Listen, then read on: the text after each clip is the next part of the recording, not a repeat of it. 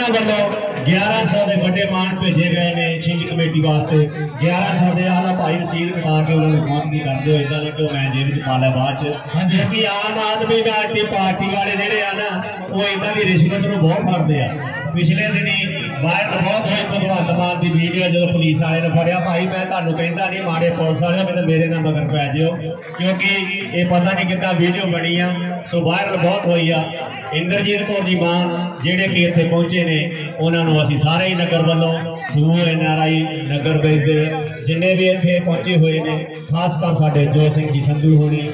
ਗੁਰਬਚਨ ਸਿੰਘ ਜੀ ਸੰਧੂ ਰਣਜੀਤ ਸਿੰਘ ਜੀ ਸੰਧੂ ਹਾਂਜੀ। ਹੋਰ ਜਿੰਨੇ ਵੀ ਪਹੁੰਚੇ ਹੋਏ ਨੇ ਮੈਂ ਦਿਨਾਂ ਜੀ ਤੁਹਾਨੂੰ ਜ਼ਰੂਰ 2 ਮਿੰਟ।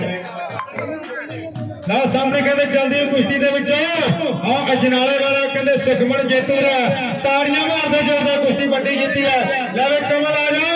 ਤੇਰਾ ਅੱਜ ਵੱਡਾ ਸਨਮਾਨ ਗੁਰਜੀਤ ਨਾਲ ਵੱਡੀ ਰਾਸ਼ੀ ਦੇ ਨਾਲ ਕੀਤਾ ਜਾ ਰਿਹਾ ਲੈ ਵੇ ਤਾੜੀਆਂ ਮਾਰਦੇ